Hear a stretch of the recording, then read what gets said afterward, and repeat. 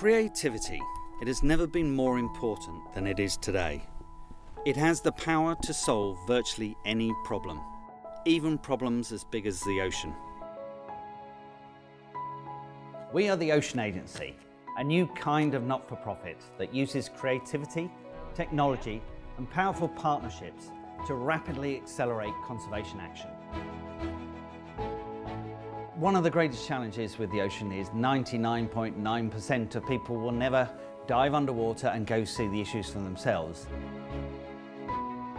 So we teamed up with Google, developed a 360 camera and took Street View underwater.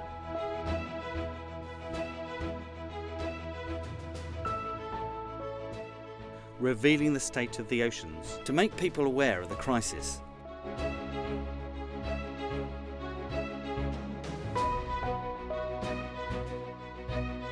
With Exposure Labs, we created Chasing Coral, a documentary that's been viewed by tens of millions of people on Netflix. It really made people care about the coral reef crisis, made people laugh and cry and actually feel that they have a responsibility for the reefs. So much so that we ended up winning an Emmy for Outstanding Documentary and actually got shortlisted for an Oscar. But we wanted to do more than just reveal what's happening to the ocean. We wanted to work on the solutions, so we worked with the world's leading scientists. Our 50 Reefs initiative identified the reefs least vulnerable to climate change that are most important for reseeding the reefs of the future.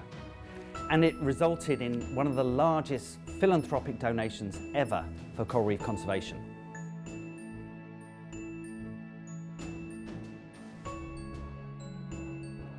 Since 2012, our ideas have generated over $400 million in media coverage and over 100 million in funding for critical ocean science and conservation action. This really is just the beginning for the Ocean Agency. We know through creativity and positivity and powerful partnerships we can achieve almost anything and we're going to rapidly accelerate ocean conservation to tackle these issues.